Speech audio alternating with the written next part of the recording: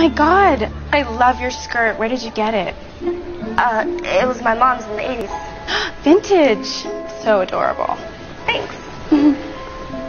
That is the ugliest effing skirt I've ever seen.